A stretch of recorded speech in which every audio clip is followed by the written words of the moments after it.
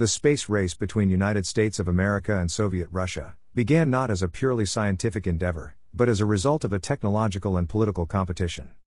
In order to surpass the Russians, NASA was reshaped, and billions of dollars were poured in it.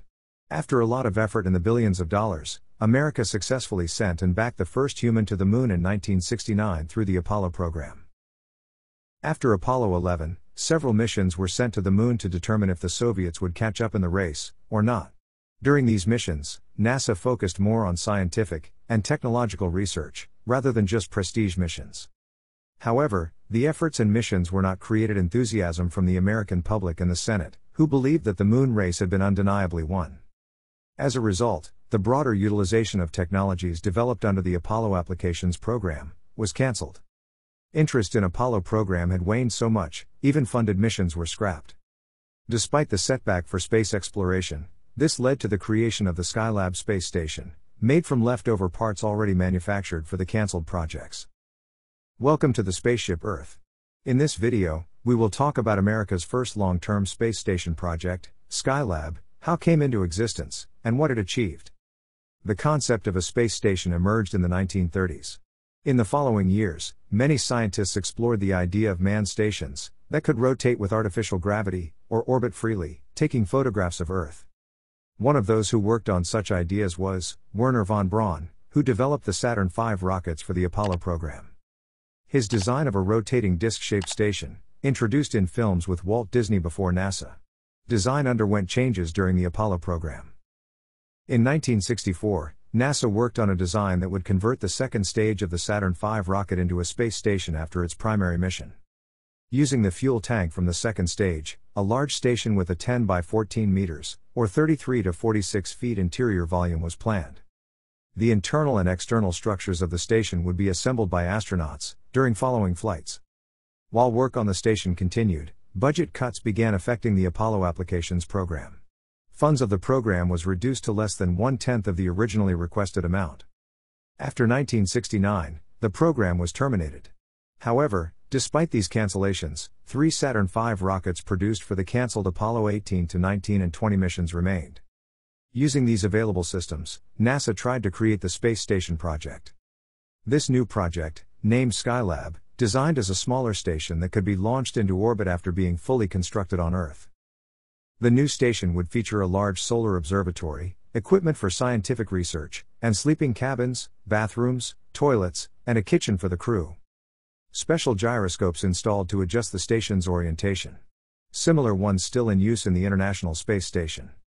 The momentum from the gyroscope rotations would ensure that the solar telescope and panels were always in optimal positions. The station's orbital control would be achieved using the engines on Apollo spacecraft that transported astronauts for missions. On May 14, 1973, the finished station was launched from NASA's Kennedy Space Center in Florida. The crew intended to travel to the station one day after launch in a planned second mission. However, reality differed from the plans. Excessive vibrations during launch, damaged one of the station's solar panels, a temperature regulation panel, and a meteor shield. The second solar panel could not fully deploy due to debris getting stuck in its mechanism. Although the station successfully entered orbit, its damage rendered it unable to function properly. Without generating the necessary energy, it began a gradual decline. NASA not wanted to lose their first space station, and prepared in its first space repair and rescue mission in history. They developed a sunshade to prevent excessive heating, and determined the methods to repair the jammed solar panel, test them in a simulated environment. After the repair preparations were completed, the Skylab 2 mission arrived to the station and began repairs. First, they installed the sunshade to regulate the station's temperature. Subsequently, they performed a spacewalk to cut away the piece that was preventing the solar panel from fully opening. After successful repairs, the station began serving for long duration stays and scientific research. First crew spent 28 days on the repaired station. After the repairs, they began conducting experiments and observations. The second crew, Skylab 3, spent 56 days, while the third crew, Skylab 4, completed an 84 day mission. With each mission, personnel stayed for longer periods, started to test how living and working in space affected human body and psychology. They observed the effects of microgravity on the human body, view, the circulatory system and experienced firsthand how ordinary activities on Earth could be challenging in space.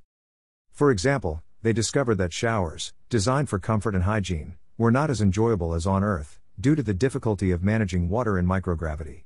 After initial attempts, the crew found that using damp towels was more efficient for personal hygiene. With personnel accustomed to station life, various experiments were conducted under a well planned, but tight program. Over their mission durations, the three crews captured thousands of photos and videos of Earth and the Sun, making important observations about solar activity. Additionally, experiments were conducted for NASA's future space plans like plant growing and metal welding. During these intensive operations, the first ever communication interruption, dubbed a mutiny or strike in space, occurred on December 30, 1973. The crew did not establish radio contact with NASA headquarters along a portion of their orbit. Later, they reported that they had forgotten to turn on the radio due to their busy schedule. After this incident, NASA adjusted the crew's workload to allow more rest and free time. Moreover, they became more sensitive to meeting the crew's needs for relaxation. While it was not an actual mutiny, this incident had a significant impact on improving the working conditions of space personnel. Despite reduced performance due to exhaustion from intense work, the Skylab 4 crew provided greater scientific and technical contributions than the previous crews. After accomplishing their tasks, they returned to Earth in early 1974. Skylab 5 mission had been planned to follow, but it turned out that Skylab 4 would mark the end of the Skylab missions. Due to budget constraints and NASA's changes its focus on the Space Shuttle program, the space station was put on the back of the list for a long period. Nevertheless, NASA officials weren't too concerned about this. They expected that the station would orbit until 1983, and before reaching the point of no return, a space shuttle could be ready to raise the station to a higher orbit. However, as attention shifted to the space shuttle, some scientists examined the data obtained from Skylab 2 and noticed an increase in solar activity. Consequently, they calculated that, due to the increased solar activity, the station would re enter the atmosphere sooner than anticipated, around 1979. The expanding Earth's atmosphere, affected by increased solar activity, caused Skylab to descend faster than expected, and it entered the atmosphere. Unfortunately, the space shuttle that wasn't there to rescue it when Skylab hits the atmosphere. On July 11, 1979, Skylab re entered the Earth's atmosphere and began to break apart. While the station start to burn and disintegrate, it was impossible for it to completely burn up. In an effort to prevent the station from falling on populated areas, NASA altered Skylab's entry trajectory to make it crash into the ocean off the southern coast of Africa. However, due to a 54 second error in calculations and interventions, the station ultimately crashed inland in southern Australia. Luckily, most of the debris fell away from populated areas, and many pieces were later collected by local residents. While the outcome wasn't as desired, Skylab was an important project accomplished with limited resources and budget. Until the Mir space station became operational, Skylab provided significant insights into how long duration stays in space affected humans, and contributed to the study of solar activities. The information gathered guided the development of future space stations that enabled astronauts to work more efficiently and healthily. Thank you for watching the Spaceship Earth. If you found our video helpful, please like and share it. Subscribe to our channel to not miss our videos about space and space technologies.